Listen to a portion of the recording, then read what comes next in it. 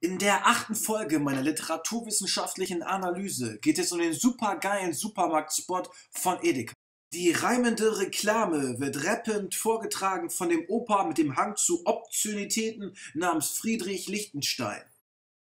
Der oft angeklickte Ohrwurm ist ein literarisches Meisterwerk, was bereits im ersten Vers deutlich wird. Ich zitiere.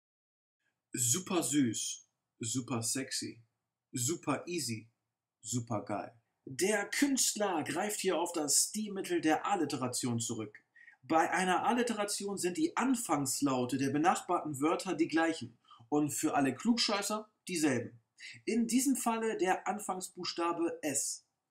Auch im zweiten Vers wird wiederholt auf die Alliteration zurückgegriffen.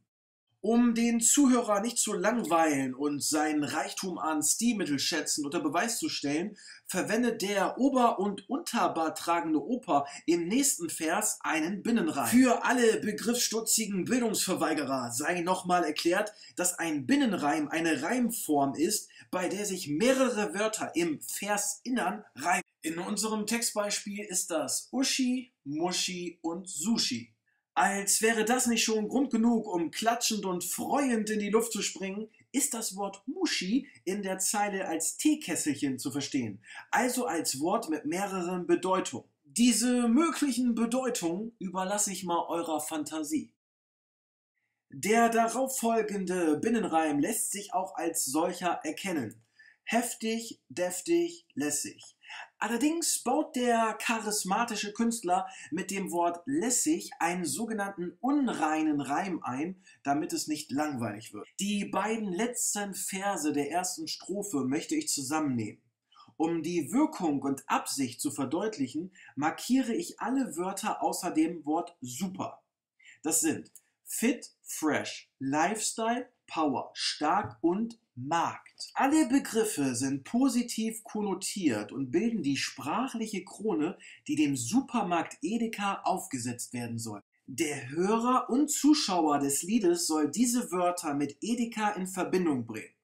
Psychologisch gesprochen nennt man diesen Effekt den sogenannten Halo-Effekt. Über dem Supermarkt wird ein Heiligenschein aufgebaut und alle genannten Begriffe überstrahlen jegliche negative Aspekte. Zugleich ist der Supermarkt bzw. Supermarkt ein Teekesselchen oder für die schlauen Streber unter euch ein Homonym. Kommen wir nun zum Refrain. Ich zitiere. Es ist supergeil, supergeil. Richtig supergeil, supergeil. Ich find's supergeil, supergeil, denn du bist supergeil. Der Refrain besteht aus insgesamt 15 Wörtern und insgesamt siebenmal kommt das Wort supergeil vor.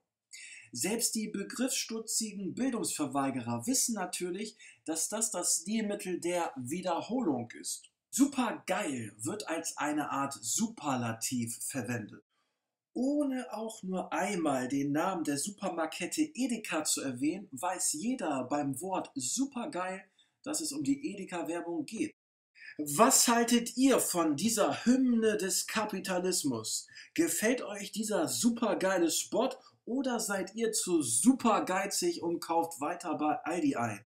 Schreibt es mir in die Kommentare. Mir hat dieser Werbespot und das dazugehörige Lied gut gefallen. Ich schlage Edeka folgendes vor. Immer dann, wenn an der Kasse eine Ware durchgezogen wird, soll statt dem Piepen ein super geil ertönen. Wenn euch dieses Format gefällt, dann unterstützt mich mit einem Daumen hoch, abonniert diesen Kanal und bleibt super geil. Falls ihr dann noch ein bisschen Zeit zur Verfügung habt, solltet ihr mal bei meinem letzten Video vorbeischauen. Da habe ich den Songtext The Monster von Eminem analysiert.